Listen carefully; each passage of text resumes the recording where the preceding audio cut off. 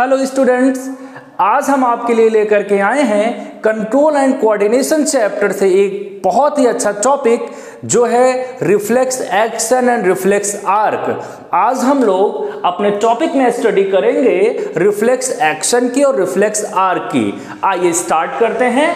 Reflex action reflex action क्या है? Reflex action क्या है कि जब इन्वायरमेंट से हमको कोई स्टिमुलस मिलता है हमारे बॉडी के ऊपर, हमारे सेंस ऑर्गन को तो हम उसके अगेंस्ट क्या शो करते हैं बच्चों? रिस्पॉन्स शो करते हैं, जिसको सिंपली रिफ्लेक्स एक्शन कहते हैं। आइए रिफ्लेक्स एक्शन को डिस्कवर्ड किया था मार्शल हॉल ने। किसने डिस्कवर्ड किया था? मार्शल हॉल ने 1833 में रिफ्लेक्स एक्शन को डिस्कवर किया। रिफ्लेक्स एक्शन क्या है? It is nerve mediated it means इस प्रोसेस में नर्व्स इन्वॉल्व रहती हैं न्यूरॉन सेल ऑटोमेटिक होता है ये। इट मीन्स ये हमारी विल पे डिपेंड नहीं करता है। मैकेनिकल रिस्पॉन्स है इट मीन्स इम्पल्सेस के फॉर्म में ट्रेवल होता है इलेक्ट्रोकेमिकल सिग्नल के फॉर्म में और हम उसके लिए रिस्पॉन्स शो करते हैं। किसके अगेंस्ट किसी भी स्टिमुलस के अगेंस्ट स्टिमुलस क्या है? जो भी इन्वायरमेंट से हमको, हमारे सेंस ऑर्गन को जो फैक्टर्स अफेक्ट कर रहे हैं, हालाँकि वो पॉजिटिव भी हो सकते हैं स्टिमुलस और नेगेटिव भी हो सकते हैं, उसके अगेंस्ट जो हम रिस्पॉन्स शो करते हैं, उसको हम लोग कहते हैं reflex action it is automatic ये ऑटोमेटिक होता है। And occurs without will of individual it mean किसी पर्सन के विल पे ये डिपेंड नहीं करता है. इट इज़ इनबॉर्न ये इनबॉर्न होता है. एंड इनहेरिटेबल होता है। It means one person to another transfer भी हो जाता है। जैसे सपोज़ करिए, बच्चा पैदा होता है और वो रोने लगता है, वो अपने आईज को ब्लिंकिंग करने लगता है। ये सब क्या है? भूख लगने पे वो रोने लगता है। These are the stimulus and जो बच्चा जो रिस्पॉन्स कर रहा है, उसको हम लोग कहते हैं reflex action present since birth कब से प्रेजेंट होता है? बर्थ के समय से ही प्रेजेंट होता है।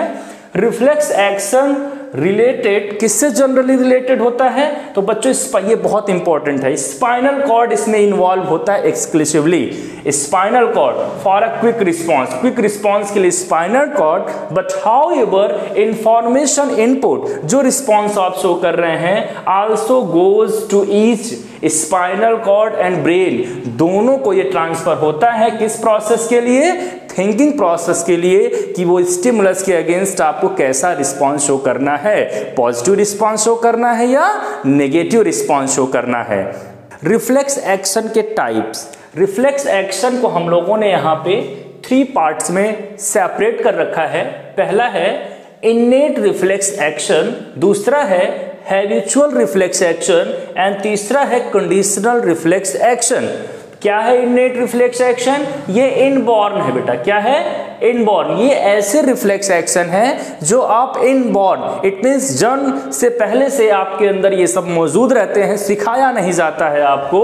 तो इस, इसमें क्या क्या आते हैं? बहुत सारी बातें आती हैं। Sneezing coughing eye blinking etcetera ये सब क्या है? Innate reflex action habitual reflex action it means आपकी हैबिट ड्राइविंग वॉकिंग रनिंग आपको कोई बताता नहीं है कि कोई सामने आ गया तो ब्रेक कब लगाना है गियर कब बदलना है। ये धीरे धीरे आपके हैबिट में आ जाता है। तो ऐसे रिफ्लेक्स एक्शन को हम लोग हैबिचुअल रिफ्लेक्स एक्शन कहते हैं।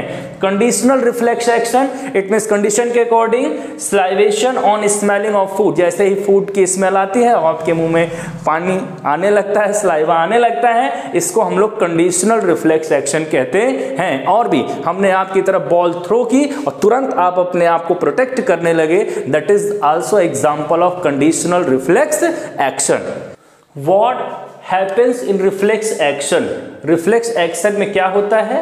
तो रिसेप्टर रिसेप्टर से स्पाइनल कॉर्ड को मैसेज किया स्पाइनल कॉर्ड से motor neuron and motor neuron से इफेक्टर तक ये बातें पहुँची। स्टिमुलस रिसीव किया जाएगा। किसके द्वारा? रिसेप्टर के द्वारा। रिसेप्टर कौन है? सेंस ऑर्गन है हमारे फाइव सेंस ऑर्गन है।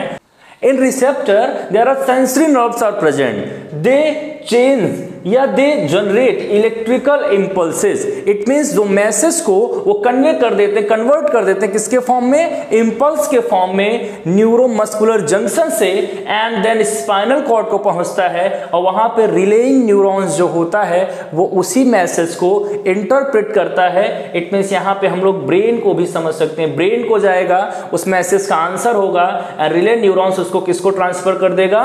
मोटर न्यूरॉन्स को। किस फॉर्म में? इलेक्ट्रिकल इंपल्स के फॉर्म में एंड इलेक्ट्रिकल इंपल्स उसको लेकर के आएँगे कहाँ पे? इफेक्टर रीजन में, और उसके अगेंस्ट आप रिस्पॉन्स शो करेंगे।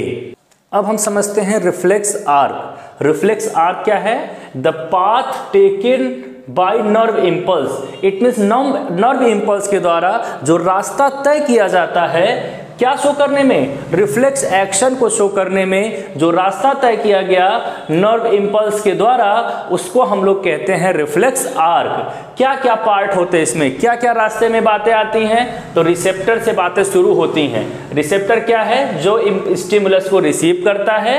सेंसरी ये नाम बच्चों याद रखिएगा, बहुत कंफ्यूज करता है। अफ्रेंट नर्व्स सेंसरी जिसको फ्रेंड नोब्स भी कहते हैं carries impulses receptor to CNS central nervous system किसको ट्रांसफ़र करेगा?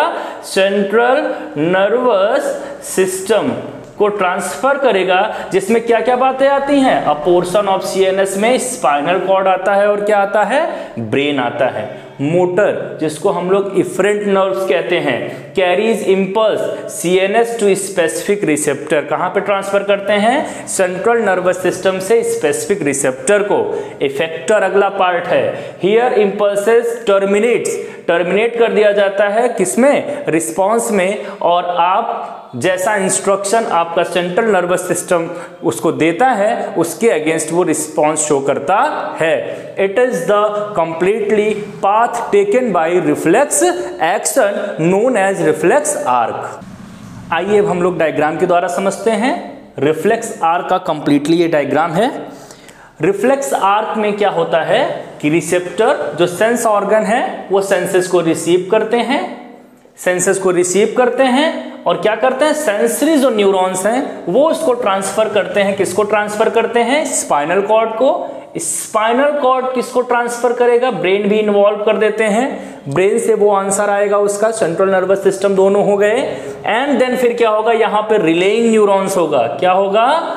रिलेइंग न्यूरॉन्स होंगे, जो क्या करेंगे? रिलेइंग न्यूरॉन्स होंगे जो मोटर न्यूरॉन्स के द्वारा क्या करेंगे? इफरेंट न्यूरॉन्स उनको कहते हैं हम लोग। किसको भेज देंगे मैसेज? मसल्स को भेज देंगे। इट मीन इफेक्टर तक। इफेक्टर कौन है हमारा? मसल्स है, जहाँ पे मसल्स भी हो सकता है, और भी हो सकते हैं इफेक्टर जहाँ पे आपको इफेक्टर इट में सब आप क्या करेंगे? यहाँ से चली बातें और यहाँ पे आप रिस्पॉन्स शो कर रहे हैं। ये जो रास्ता इसको हम लोग कहते हैं रिफ्लेक्स आर्क आशा करते हैं आपको वीडियो समझ में आया होगा। Thank you